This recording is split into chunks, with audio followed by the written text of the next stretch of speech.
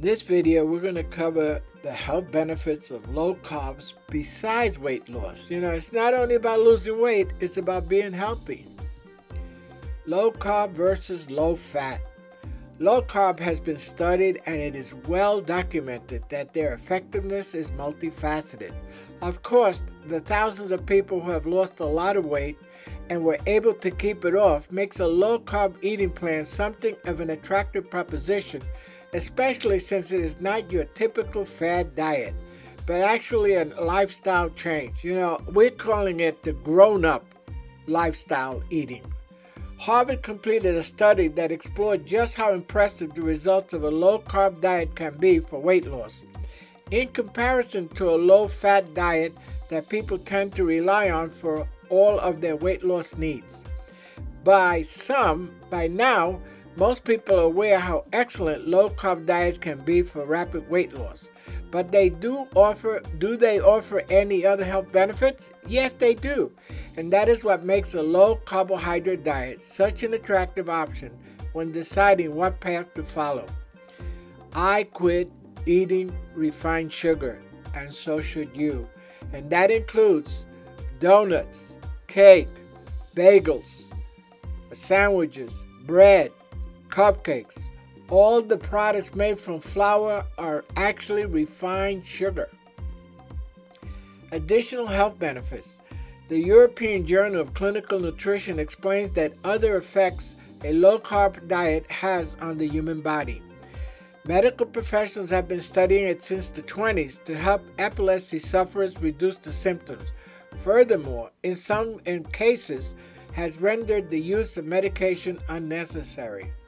There has also been strides made in providing that a low carb diet can be used a therapeutic aid for a number of other conditions such as polycystic ovary syndrome, the risk of cardiovascular disease, diabetes, Parkinson's, Alzheimer's, a number of strains of cancer, diabetes, and even acne. The point of the study was to determine whether the preconceived notions surrounding ketogenic diets have prevented doctors from relying on it as a therapeutic method. The clinic, the Mayo Clinic, has also explored the other effects that have seen that are seen when on a low carb diet. While citing many of the same issues listed on the EJCN, the Mayo Clinic has added cholesterol levels and high blood pressure to our list. Eat more of fresh low carb green vegetables. And what we advocate is having a salad for dinner. Uh, put some avocados in there. You could use some blue cheese sauce, oil and vinegar, whatever treats your fancy. Just don't have any pasta, rice, uh, bread, starches, because that's what makes you fat. Heads up. There are variations on what is considered a low carb diet. Anything from 20 grams to 150 grams can be considered low carb.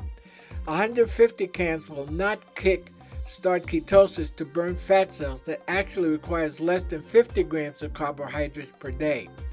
Dr. Judith Wylie-Rosett led a study that makes mention of the American Diabetes Association belief that a low carbohydrate, low fat diet can be used to achieve improvement in both weight and metabolism pointing to the Mediterranean diet as evidence.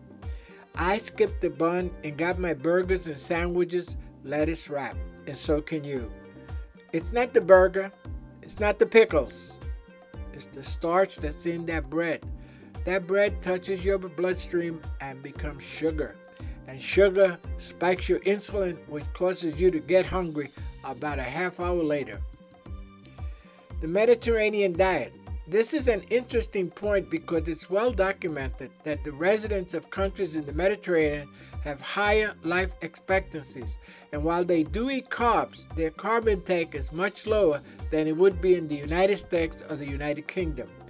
The Mayo Clinic breaks down the Mediterranean diet, which hinges on eating plant based foods, nuts, whole grains, and legumes.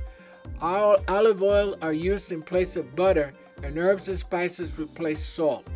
It is more common to eat white meats and leave red meat to the odd occasion. and meals are spent with family and friends and consumed over a few hours.